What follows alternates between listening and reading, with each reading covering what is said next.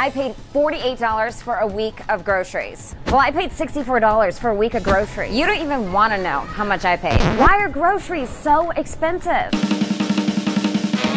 Since October of 2019, grocery prices have soared almost 10%. The biggest offender, beef, rising a whopping 17.6% over the last year alone, followed by meats, fish, poultry, and eggs. Here's how this affects you. According to the U.S. Department of Agriculture, for a typical family of four, the average monthly grocery bill skyrocketed from $1,063 in 2019 to $1,153 in 2021. That means you're paying more than $100 every month that's well over $1,000 ah. every year. So, what's going on here? Supply chain issues paired with a change in market demand at the start of the pandemic created challenges that continue to disrupt the industry. With food, you had a number of factories that had a worker problem. And then as demand started to come back, now we start to see that there's a shortage of workers, for example, truckers. So, what's next? This is the highest increase we've seen in 30 plus years. That doesn't go away quickly.